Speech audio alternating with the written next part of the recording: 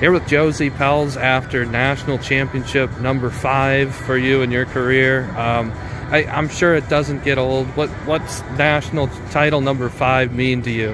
Um, I was very very nervous coming into today. Um, it no nationals is ever the same, so um, I was seeing this the lowest I've ever have coming into nationals which was just different, but I think it gave me a great opportunity to persevere and to show up today. And I am so grateful for, I mean, the Lord provides adrenaline for a reason, and the fact that He kept it going this whole day and kept me through the through the end of the competition was just phenomenal. So um, it's just a big relief to have done it again, and I'm so grateful for the opportunity to be here. So.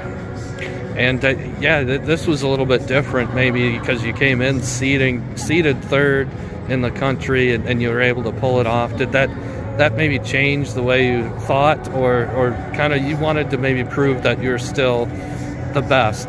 I mean, I never feel like I have anything to prove.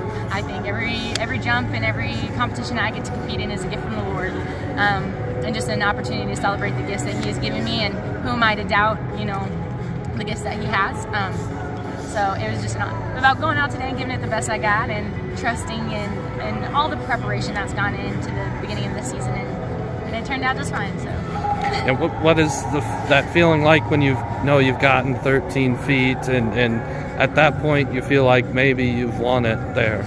I feel like I never know. Competition is so unpredictable, but I was very glad to have cleared 13 feet again. Um, I think it was just the second time this this season, um, but I got on a really a, the biggest pole I have all season, one that I've tried to get on outdoor as well. So that was just a big like thumbs up, good stepping stone, especially as we transition into outdoor here. So those were some of the big accomplishments that I was really stoked to see today.